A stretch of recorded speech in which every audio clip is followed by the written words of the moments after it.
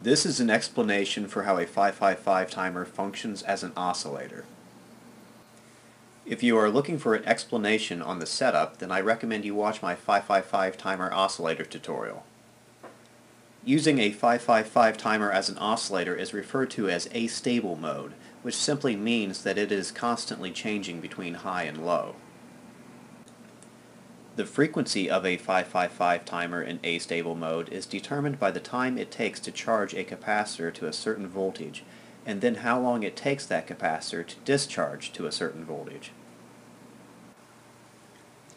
Capacitor C1 is charged from the power source through resistors R1 and R2.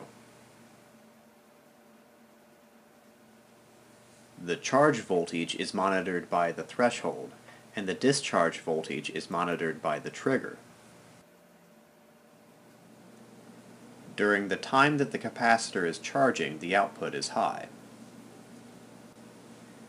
When the threshold detects that the voltage of the capacitor has charged to two-thirds of the input voltage, the discharge opens to ground so that the capacitor can begin discharging and the output goes low.